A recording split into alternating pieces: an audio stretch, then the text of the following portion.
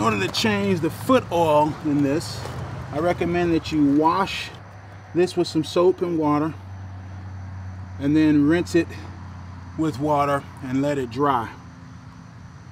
That keeps any dirt and grit and sand from getting into this foot unit and ruining it. That's very important. Second, you have a screw here and a screw here. You're first gonna unbolt the screw down here. Then and only then do you unbolt this one. If you unscrew this one first, this will allow, uh, create a vacuum. And so it won't just go all plopping out on you like you do when you change your car. Remember, use the bottom, get the bottom one done first. Take it out.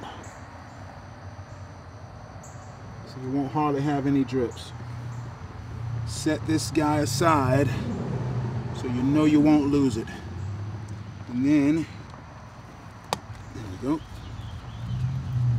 Shoe start. See? See the difference? Be careful of this. There's a uh, gasket here. And there may be one here. I just don't remember.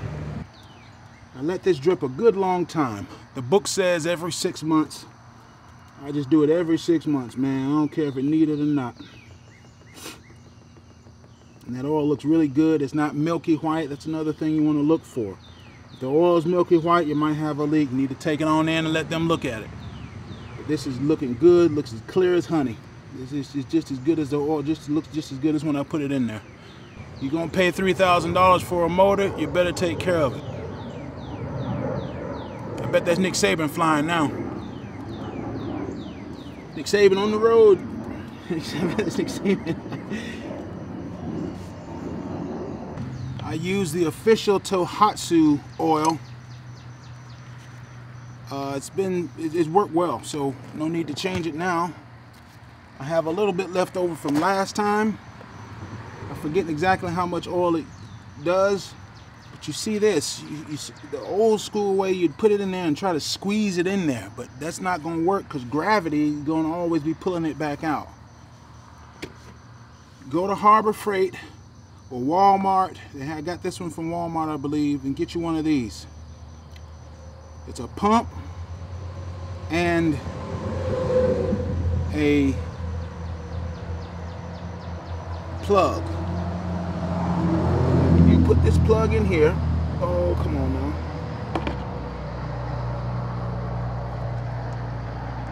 Oh, there's that filter. There's that filter. Yeah, I was right. There is a. Uh, there is a gasket on the bottom, so be careful. Probably, probably should buy some new ones next time I'm in Huntsville if the fella has any. Now some, there may be a couple of different adapters depending on your motor. They usually comes with an adapter for a Tohatsu or a Yamaha or a, or, or whatever. Screw it in there. And there you go. And all you got to do is pump. You crank it open. You put your, screw that on the top.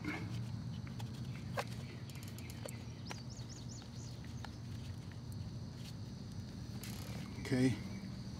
And then you just start pumping.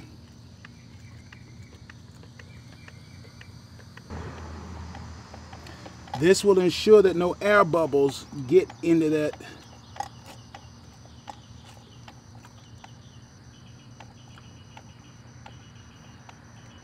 If you start feeling air bubbles, just tilt it to the side like that and keep pumping.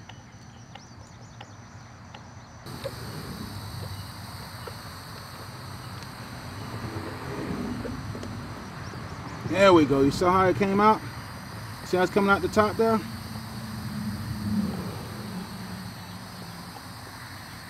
kind of keep pumping it every couple of times and then once you do that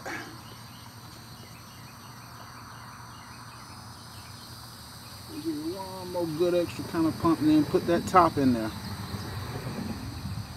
just hand tighten it for now.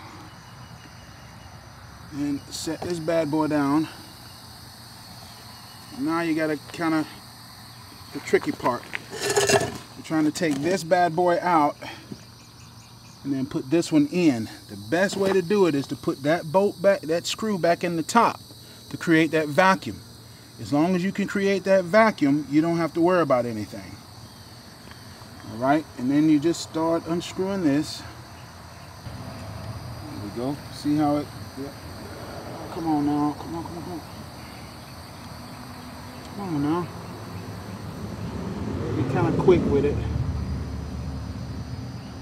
But don't cross thread it. Take your time, but don't cross thread it. Whatever left over in this tube, just uh, drip it back off here in the bottle. That's your best bet. You say, well, hey, why can't you just put in the bottom plug and fill it from the top down? Air bubbles, fellas, air bubbles.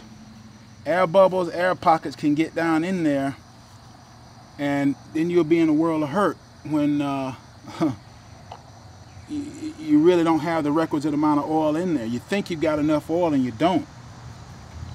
If you go from the bottom up, there's no air bubbles and you filled exactly the amount of oil it needs to be. And you put the top in for the vacuum, you don't have to worry, worry about it. That's the easiest way I have found to change the oil in the foot of these little of these Tohatsu motors. Now be sure to come back and put a tightening on these bolts here, these screws here, these plugs here. Just put a tightening on it.